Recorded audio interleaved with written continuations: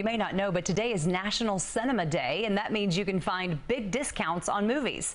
An estimated 30,000 theaters across the country are offering tickets for just four bucks today only. That includes new releases in any format, even IMAX or 3D movies.